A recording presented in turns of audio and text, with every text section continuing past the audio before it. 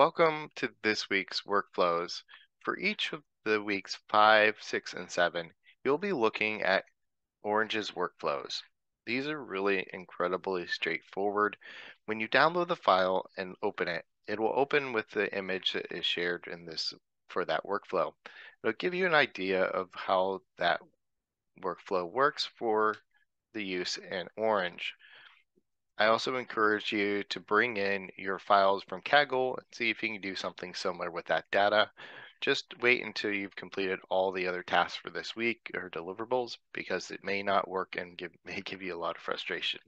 That's why I really like this layout because you can see exactly the outcome of the data. So if you uh, upload that or download all the different things. The expectation here is that you've opened it up and you take just take a screenshot showing that you've done that, and uh, or a screen capture that explains your thoughts as you're going through the data.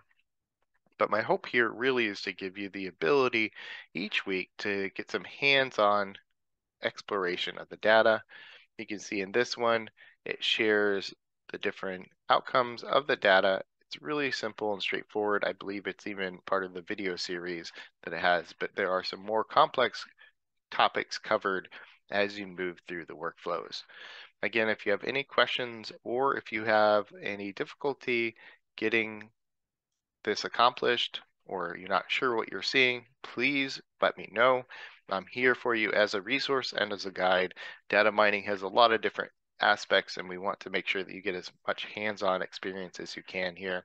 Really take the time to play through each of these workflows, get your hands dirty, experiment, use different outcomes and see what makes sense for the data as it's been laid out. The incredible thing about this is you know the data will work for this workflow. And the uh, difficulty with the Kaggle data, Kaggle data is, as you will find, that this data, the data still may need some pre-processing to be able to be analyzed through a tool like Orange. Thank you, and let me know if you have any questions whatsoever.